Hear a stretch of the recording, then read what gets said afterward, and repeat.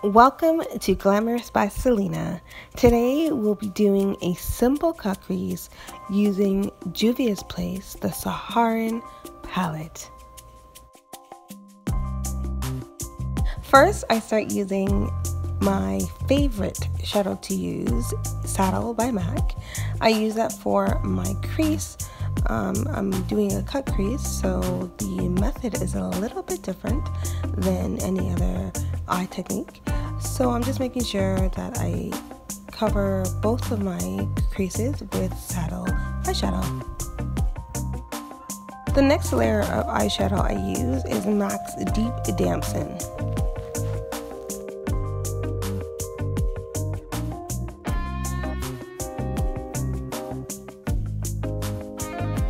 I take the same eyeshadow and just go over both eyes one more time just to make sure everything is even. Next I take, with my Sigma E39 Buff and Blend brush, I apply Makeup Forever's Powder Blush Eyeshadow, number 58, and I apply it above on top of my Deep Damson. Even though I am applying this on top of Deep Damson, it will not take away from the color of my eyeshadow.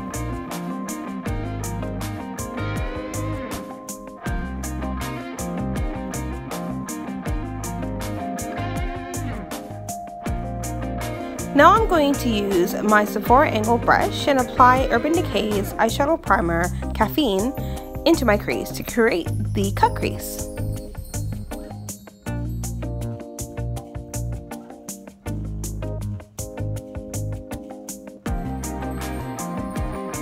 Now I'm taking a larger brush and applying caffeine onto my eyelid to fill in the space that I created.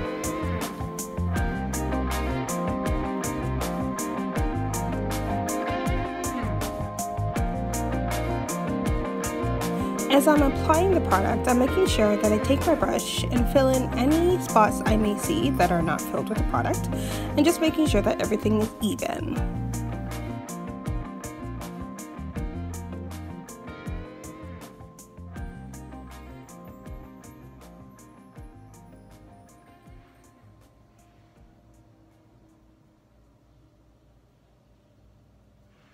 Now I take my Sigma blending brush and apply Deep Damson to the corner of my eyes. I want to create ombre effect. So I just apply just a little bit, just paying attention to how much of the product I'm using and the effect I'm trying to create.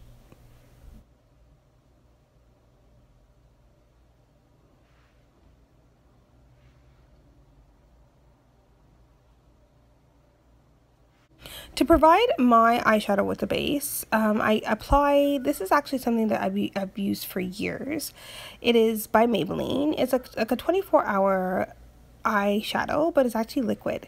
So I like to use it a lot when I'm using colors, shiny colors, anything that I need a lift, I like to use it. So this one in particular, um, it's a pink metallic color, and it's great to use as a base under colors like this.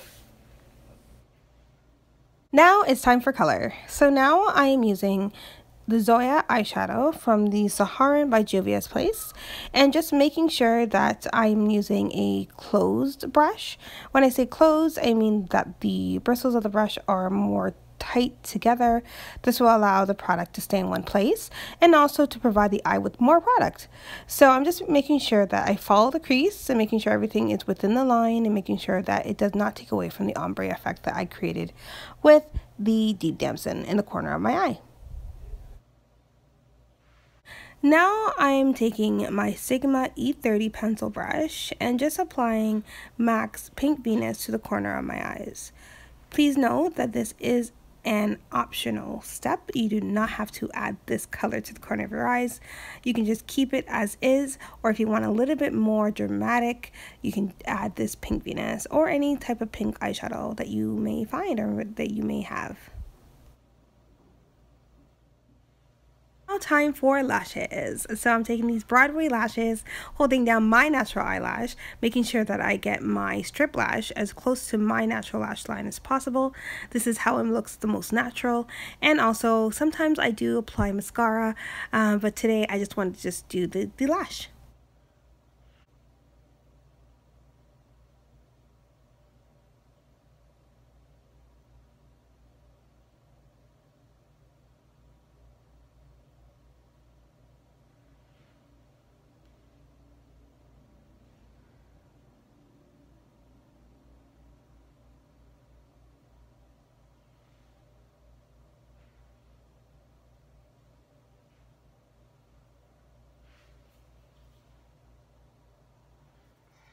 Now it's time to prep my face. So first, of course, I prep my face using Milk's primer.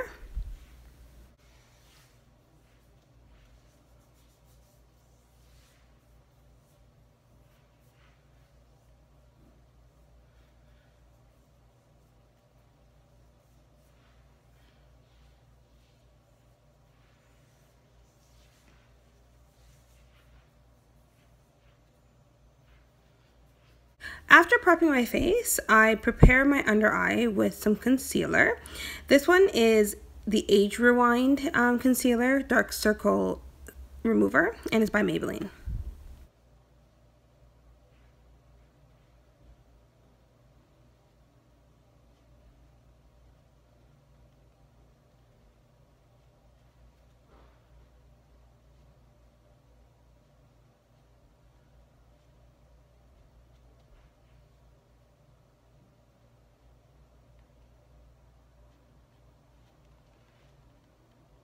I just take my sponge and just blend it out, making sure that everything is where it's supposed to be and making, making sure there's no creases, no lines, etc.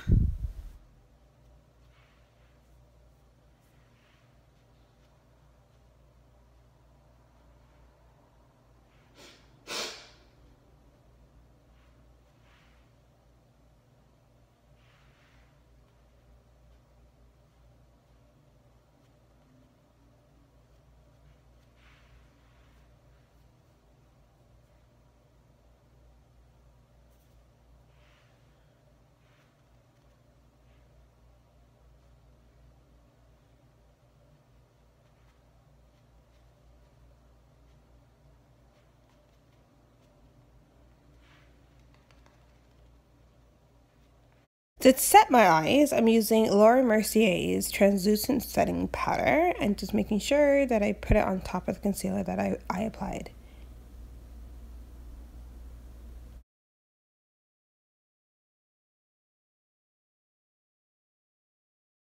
This step I usually do before I apply my foundation and I'm just applying powder foundation. This one is Kat Von D's Deep 72. This product I'm so excited about. This is Fenty Beauty's Match Stix and this one is in truffle and I'm just using it just to go under my eyes, a little bit on my cheeks because sometimes my cheek does not have enough coverage from the foundation and just making sure that everything is on one skin tone and everything looks smooth and flawless.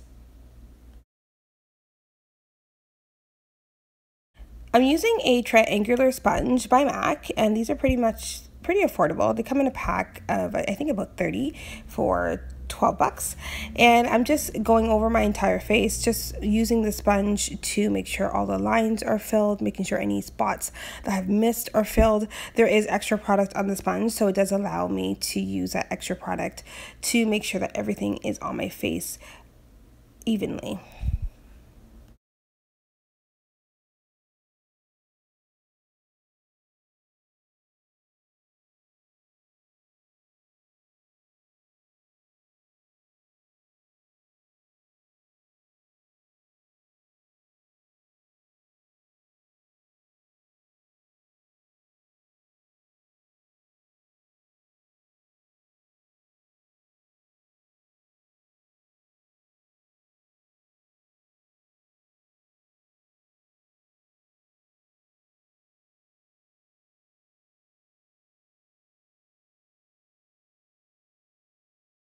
Now I'm taking that same powder foundation, Kat Von D's Deep 72, and just applying it all over my face just to soften my foundation. Baking is so important, so I'm just taking my translucent powder by Laura Mercier and just setting the, the Match Stix concealer that I use by Fenty Beauty.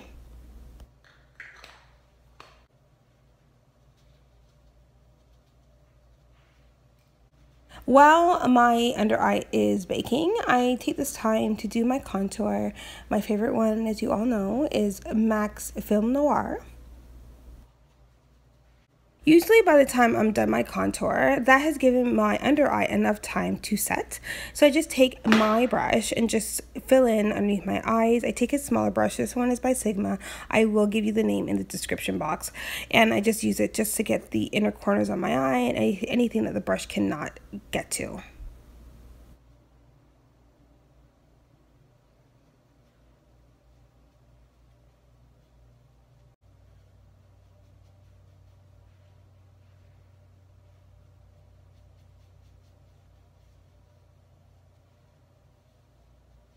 I really enjoy using shadow shields, especially when I'm doing my bottom lashes because the hair on my bottom lashes are very fine.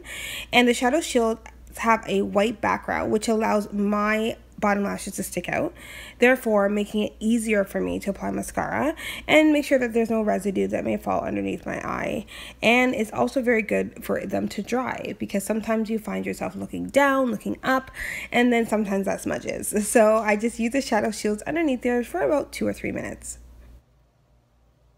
I'm now applying MAC's Plum Lip Liner on my lips um, as a base for my long lasting lip color. Now I am just filling in the rest of my lip and eventually I will take another lip liner by MAC and that one would be Boldly Bare and I'm just applying it on top of the plum. It'll give me a really really nice neutral tan for my skin tone.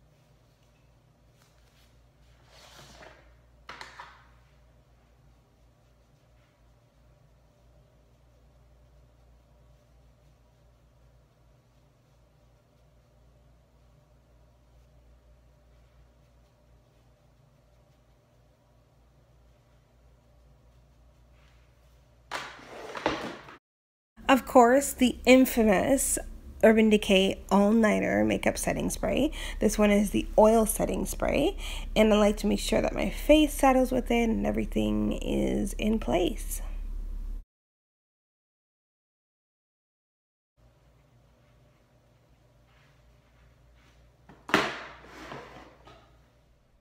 Thank you guys so much. I hope you enjoyed it. Make sure you subscribe and like.